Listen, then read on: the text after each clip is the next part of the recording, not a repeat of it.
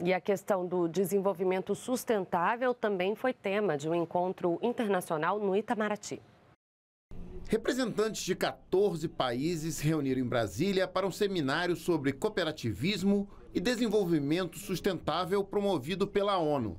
No Brasil, são 7 mil cooperativas que reúnem um milhão de pessoas, especialmente nos setores agrícola e de saúde.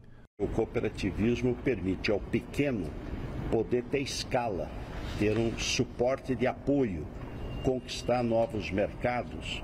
Então é uma maneira de crescer é, melhor com melhor distribuição de renda. O vice-presidente da República, Geraldo Alckmin, destacou o crescimento do setor. O cooperativismo no Brasil cresce fortemente, cooperativismo de crédito, com Sicredi, Cicobi, Cressol, então, muito bom.